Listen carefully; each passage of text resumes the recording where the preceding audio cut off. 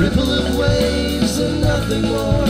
In darkness, I waited for soon I knew my future would change from cold dark to blue.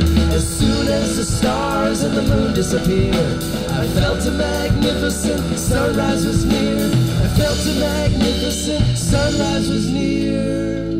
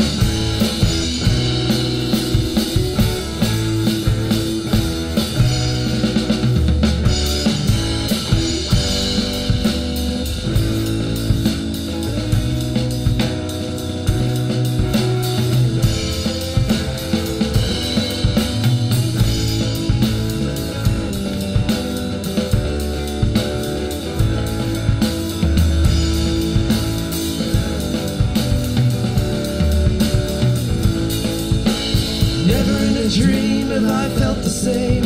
Like a candle that melts when there is no flame. As I squinted my eyes, I drew in a deep breath. Gave thanks for my soul was completely at rest. When the moment had passed, I boarded my ship. Ready as ever to continue my trip. I travel by boat to leave no trail. Sleeping under the stars as I sail.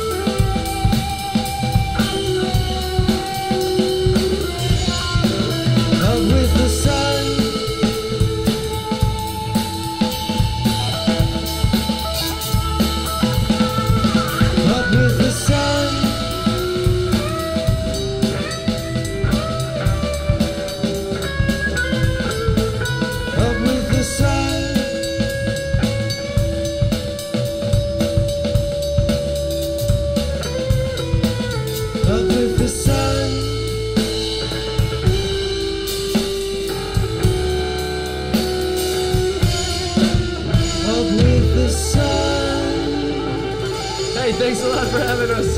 Terrapin Station, what a beautiful place.